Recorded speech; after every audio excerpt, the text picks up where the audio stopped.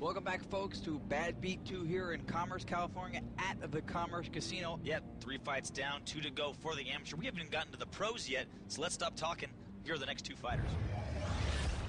Now our combatants in the middleweight showdown, Joshua Miller, the caveman from SoCal Fight Factory 5'10", 185 pounds, a wrestling background with a BJJ and ground and pound style.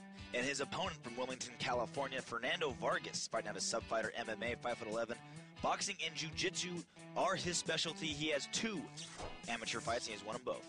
And that is one of the differences between these two guys. The caveman Joshua Miller 0-0 as an amateur, Vargas 2-0 as an amateur, undefeated with two more fights. Everything else pretty much identical. Let's get in the cage. Round number one of our fourth fight here of the evening at Bad Beat 2. The caveman Joshua Miller in the red, Fernando Vargas from Subfighter MMA in the blue.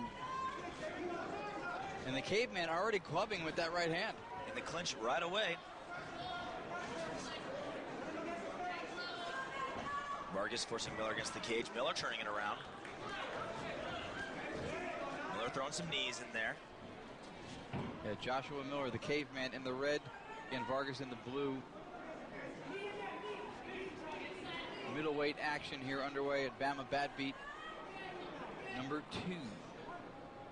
Scheduled for three two-minute rounds, by the way, in the amateur mixed martial arts under the Camo organization. If you're wondering why they're wearing rash guards, that's exactly why. It delineates which fighters are amateur, which fighters are pro. Five pro fights coming up after the amateurs are done. One minute down, one minute to go. Crowd in attendance, plentiful. Happy with what they're seeing so far here tonight, as they are at Bamma shows. Vargas pushing Miller up against the cage. Miller throwing some knees in here and there. Vargas more looking for a takedown than anything. Oh, and a left hand by Miller lands.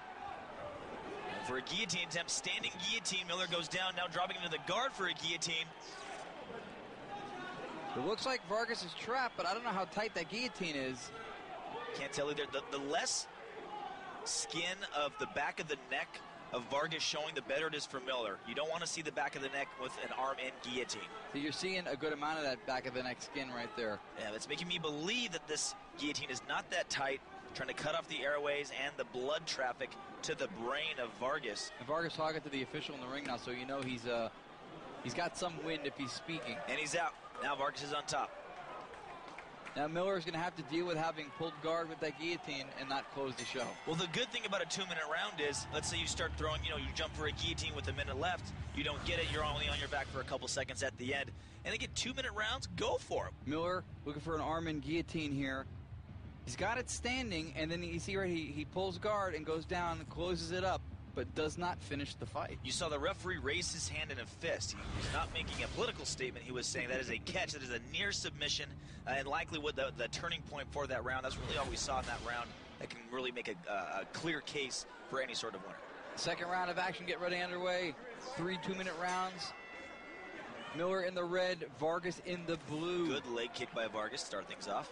Both guys also really thick legs too. They've been doing their Pilates, I can tell. Yeah, definitely Pilates. I initially thought Pilates was a dessert. Sounds like delicious. like tiramisu. Big right hand, left hands being flung by Joshua Miller. Seeing where the caveman name comes from. He's the cage man tonight, pushing Vargas up against the cage. Uh, I don't know if he's looking to throw some knees here, possibly going for another takedown attempt. Body shots. Yeah, Joshua Miller taking advantage of the open torso of Fernando Vargas. Very underrated strike in mixed martial arts. A good old fashioned body shot. Yeah, well, just like in boxing, it'll take a lot of the wind out of the sails, too, if you work that area. A trip attempt by Miller kind of goes nowhere. Halfway through round number two, halfway through the whole fight. Scheduled for three two minute rounds. Body lock. This is a good place for Vargas.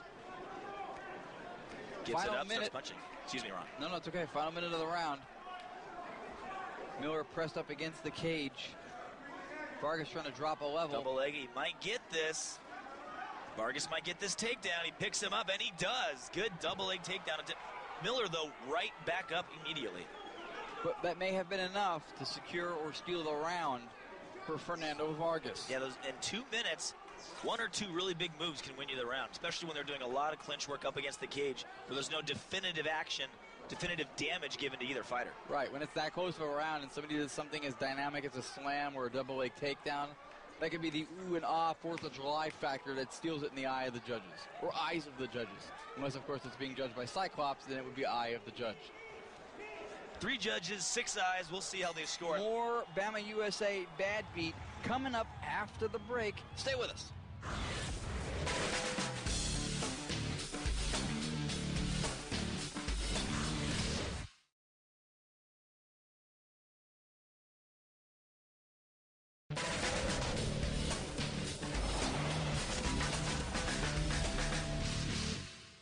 Welcome back, folks, to the Commerce Casino for Bad Beat 2.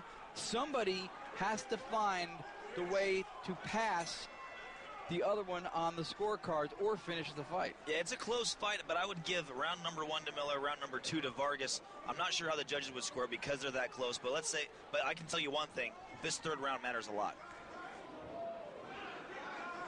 Yeah, this is a pivotal round because it could either be uh, one round each, or it could be one one guy winning both rounds. But I would put my money on the first scenario. It could be split so far.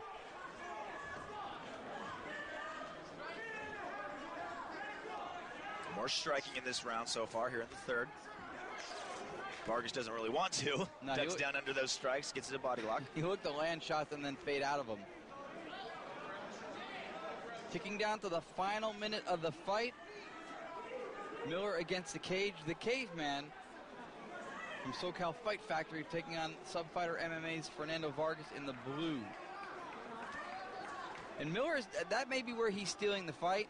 When they're in any of these positions in the clinch where you said a lot of, there's not a lot of dominant action happening, like a metronome, his hands are just striking the other guy. Yeah, Vargas is going for takedowns. Miller is nullifying those takedown attempts and punishing him while you're doing it. You never want to just defend a move. You want to defend and counterattack, keep your opponent on his heels, and that's what Miller was doing right there. Yeah, Miller is really he's he's throwing his hands anytime they are tied up. He's finding one free hand and he's launching it. Kick to the midsection now by Miller. Vargas with a quasi Superman punch right there. Good right hand by Vargas landed. That doesn't really phase Miller, though. It wasn't that clean, but it did connect. It was a grazing shot. I think if it would have connected clean, if Miller's a little closer, that might have been damaging. Because it was on target, it was just short of the target. 10 seconds left in this fight. Once again, we find Vargas in the clinch, pushing, pushing Miller against the cage. And watch, as soon as Miller has a free hand, if there's time, boom, see him throwing some strikes right there. That could be where he's winning the fight. Reading between the lines, Miller may have punched his way just a little bit ahead with some of those little shots. Here's Vargas's takedown. Good one. Right up against the cage. They spent a lot of time in the clinch where things were close, where nobody was decisively in control.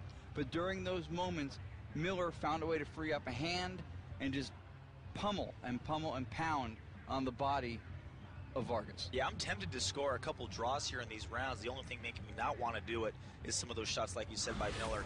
Well, the main thing we want to do is we want to get to the point, and that is the decision. Marco Rodriguez has that information. Let's find out where this fight ends up. There you have this scores at 29.5 to 28. All for your winner by unanimous decision. Out of the red corner, Joshua Caveman Miller. A congratulatory hug by Fernando Vargas. Joshua, the caveman Miller, with that hand, again, in the clinches, may have, not to use a caveman cliche, pummeled and pounded and clubbed his way to a victory on the scorecard. Mixed martial arts so tough, even a caveman can do it. More action coming up here at Bad Beat 2 live from the Commerce Casino. Stay with us. We'll stay with you. That's how relationships work. We'll be right back.